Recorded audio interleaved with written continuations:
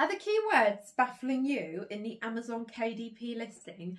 If so, then this video is for you. Whether you're new to KDP and have not yet uploaded any books or whether or not you've got books uploaded, did you know you can go back in and edit your keywords? So just because you've uploaded them, you've left them. If you're not getting sales, follow some of these tips and I hope they will help you. So what we're going to do today is we are going to take a niche of prayer journals, which is a book that I am just about to create and I am going to show you the research that I'm going to do for that then next week I will show you how I create my prayer journals. So make sure that you don't forget to like and subscribe. Make sure your notification bell is turned on so that you don't miss out on that video. Let's jump over onto the computer and I will show you Bookbolt, how I'm using it, how I do my KDP research and yeah, I hope that you find lots of useful nuggets in here for you. Okay, so the first thing that I'm going to do is just make sure that within the prayer journal niche that people are actually searching for this. You can see here it's coming up prayer journal for women, for men, for teen girls, for kids, for girls, for women to write in, for women spiral bound, for teens, for black women, for boys. So it clearly is getting searches. Now I'm just going to come over here, hit on my KDP spy and let that run through because this is just essentially our page one listing. So that's kind of what I want to. So these ones here, these are the ones where they have probably got their keyword research absolutely spot on. These are appearing up on the first page and therefore we can have a look. You can go through and you can save these books and then it will transport them over onto your BookBolt account. So what I want to do is just make sure that we can see that these are being searched for. So I would look for a BSR of under 300,000 and you can see here straight away the first few listings absolutely are. So we've got more, that one there is just over, just over there, but we've got another one, another one. So this here tells me straight away that this is a really good niche because we are getting quite a few of these ranked up in the top 300,000 books on Amazon. So that is brilliant. Next, I want to have a look at what the estimated revenue is. Now, this is per month, but what I want to do is have a look and see more than newer listings because you can see here this is 21 this is 2020 so this is their estimated sales per month estimated revenue. If I just click on that then we can see there what our bigger sellers are. So we've got that was published on 2019 but look estimated revenue $23,500 I mean that is not too shabby this one here, this is really interesting. So this was only published end of September 22. Estimated monthly sales 990, $16,000. And this one here is a prayer journal for teen girls. 52 week scripture, devotional, and guided prayer journal. And there we go, we can just see that. And it does, it looks lovely, it looks professional. And that's what you need to think about. It's no good just going on and slapping on prayer journal for teen girls. You need to make it look as though it is for that market. So make sure that as you're doing it, that your book does look professional, that we're there we're there to compete. We're not there to hang around. If you want to do this and make it as a serious side hustle, or even possibly, you know, a potential full time income, then really do take the time, think about who you're marketing to. So that is really good, and you can see there its BSR ranking is 2,386. So absolutely incredible. They're charging $16.16. So they they're not the cheapest at all. And this is what I think about when we're pricing our KDP books. It's often I see so many notebooks on there and journals and things like that where I'm like, they cannot be making very much profit at all because they are charging so low. I mean, we know that the books Amazon do take quite a large percentage in terms of when it comes to your printing costs and things like that, but you want to be competitive. So that's a September 22. That's 21, 18. This one's an April 22. Now this one here is 4.99. So I doubt their margin is very high. And there you go. So you can see there nearly seven and a half thousand dollars. Another 22 here with a BSR of 31,000. Pour out your heart prayer journal. Cloth overboard. So this one here isn't a KDP journal. So that's what I would say. They are commanding a higher price. But that doesn't matter either. They're still there. They're still competing with you. So it's still worth thinking about. Here we go. We've got a July. That one's got a BSR of 73,800 $421 a month. I mean, who is going to snub their nose up at that? I definitely am not. So here we go, we've got another one, $77,253. And this is just from one of their books. So imagine they've got more within this listing. So really, really interesting there. So as I say, you can tick these across, you can save them and pop them into your spreadsheet, pop them into BookBolt. But now I'm just going to come over here and click onto the keywords. So when we type in prayer journal, this is then going to tell us the Amazon search volume. So a prayer journal journal, interesting, gets 95,173 searches per month, which is, you know, an astronomical amount. I'm looking for something closer to a thousand, maybe lower. So again, you can just click over here so that's going to put your top searches in.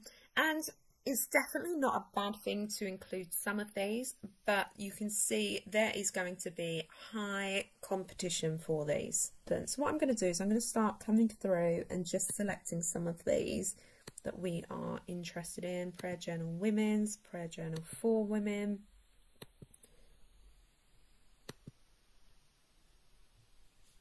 Um, let me just change that so we go the lowest first. So a Jabez journal. This is your teen girl journal, but we've still got 90 searches a month. So if you did put in there prayer journals teen girl, you would pretty much almost get a top spot. Prayers journal for women. So this is a really good twist there. Blank prayer journal for kids Prayer Journal for Women Grief, Prayer Journal for Women Daily, Prayer Journals for Wives, Wife, Women of Colour, Spanish Women. If you know Spain, absolutely go for it.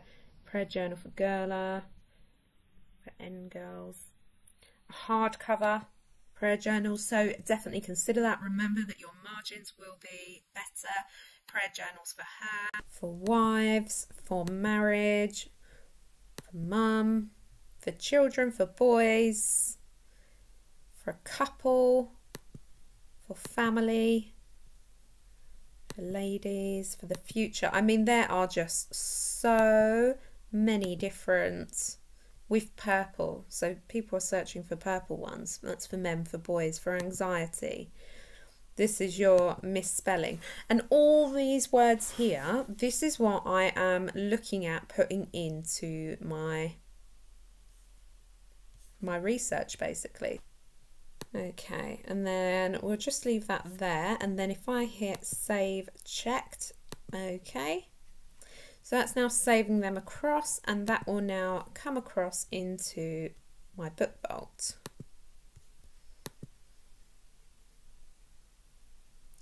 There we go. So now you can see that.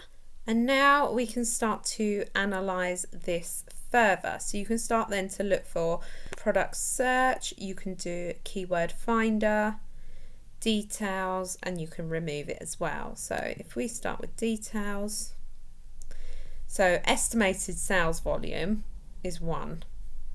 Competition score is an A. So if we type that in, then great, we're probably going to get that. But however, people are not really searching for that. So that one there, straight away, I would get rid of that one.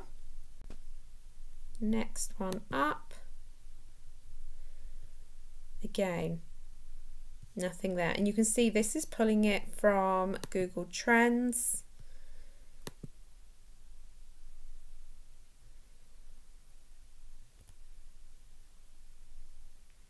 There we go. And here we can see, so now by clicking on that, we can see prayer journal for women daily, prayer journal for women grieve, prayer journal for women of colour. And you can see it's the same words coming back up. So what you need to decide, and this is something that I cannot decide for you, is what are the seven ways you are going to put that in. So what I would say is make sure that your title, yes, you could put in prayer journal for women daily if it's a daily journal, um, or you could do 52 week, you know, something like that. But then make sure that you are using your subheading as well, making sure that you're getting in as many words as you possibly can, and then going through these and just making sure that you have got the seven best ones that you believe will get your sales. And that I cannot decide for you, but you do need to take into account the Amazon search volume, the competition as well. And what you can do, so let's just say now you can keep going, like you can make this huge. So you could now go, um, let me take this one out. So, prayer journal for women daily was something that was coming up. There we go. So now we've got that. And then again, you can take this further. So you can click back on your search. So we've still got over 60,000 results here. So still absolutely huge. Um, so let's just, this is pulling through the biggest sellers so far. So let me just stop there and we'll change that to published on so we get the most recent ones. So estimated date, uh, monthly sales is 2.2, $24, but that was only published then. Whereas you've got this one here, 10.95, 10.99, so very similar in terms of prices.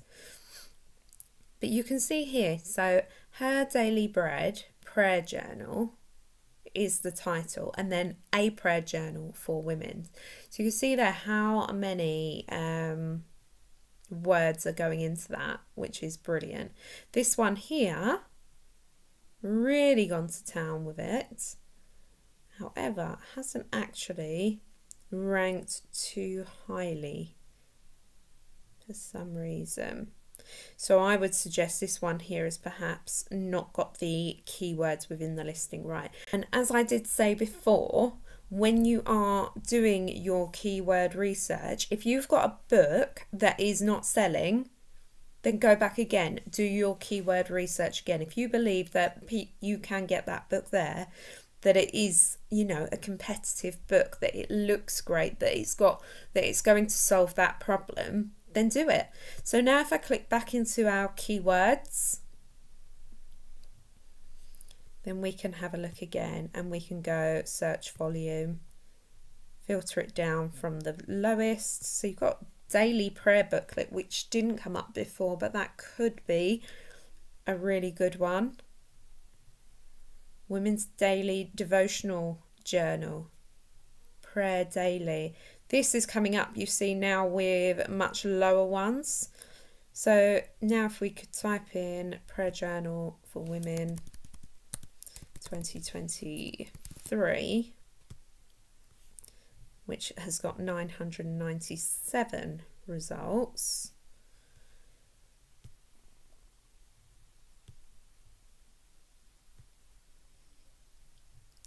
War room prayer journals for women And you can see straight away we are getting different words. So you can keep going through and trying.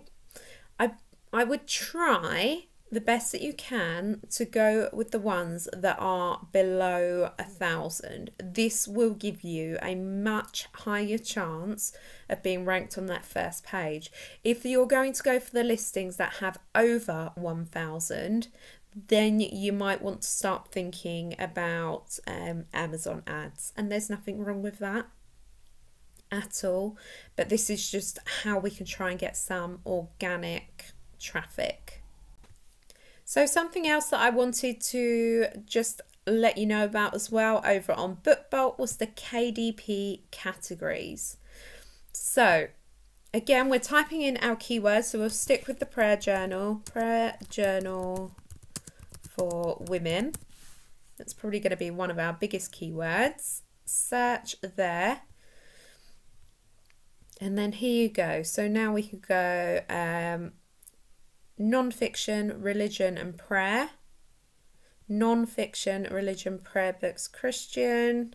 That would help me out massively as when you're actually uploading these onto KDP, it is really hard, I think, to find the right place for you. And you can see there are other ones um, that you can go for, but none of these would be. I mean, there you go. You could go non-fiction, religion, prayer books, and then general which might be slightly better than Christian because yes so definitely have a look through here. Honestly you can get so much information off of bookbolt.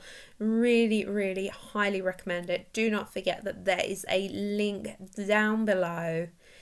Get those journals uploaded. You may still be lucky to get a few sales now. You can download these results. Also take them across into your um, into spreadsheet and then you can start to track them a little bit better. I really hope that you have enjoyed that video today. I hope that that has answered some of your questions about how I do my keyword research. And if there are any further questions, then please leave me a comment down below and I'll try and answer every single comment question that I get. And I will see you all next time. Thank you so much. Bye.